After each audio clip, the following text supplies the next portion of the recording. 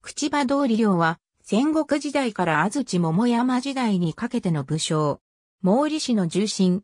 吉川元春、小早川隆景、福原貞俊と共にを4人の一人に数えられる。家系は、大江姓毛利氏の初家にあたる坂氏一門支持氏の傍流にあたる。支持元吉の次男で、兄に支持光陵がいるとされるが、光陵との年齢が46歳差で大きく、かけ離れていることから、光陵の子とする説もある。永正10年、支持元吉もしくは支持光陵の子として生まれ、毛利元成に古くから仕える。はじめは、支持の名字を名乗ったが、後に、岩見国王茶郡口場村を領し、琵琶工場を居城としたことから、財名を取って、口場を名字とした。天文三年に、円や沖久の処遇に関して、天子氏との関係が悪化したビンゴの山内直通に接近することを元なりに命じられて山内氏と親交を深めた。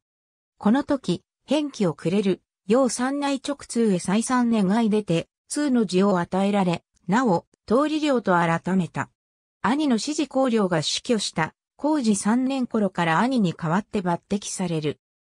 永禄五年に、毛利氏に帰属した赤名正紀世の重臣、来島清行と気象文を交わし、元気元年には、出雲の湯原氏の軍中を、吉川元春と共に、毛利元成と毛利照元に上進すると、主に吉川元春を補佐して、山陰地方の制圧や、その統治等を任された。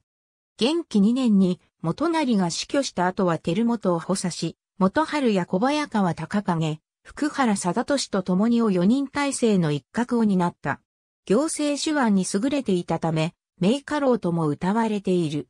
元気三年の毛利氏を来ての制定では、照本から命じられた上場を4人の連名で、年寄州と奉行州に下している。天正10年7月28日に死去。去年70。肖像が島根県大地郡夕南町下口場の騎士章、山延明寺に残っている。また、総林寺の墓を移設する際に、古戦や刀等が出土している。ありがとうございます。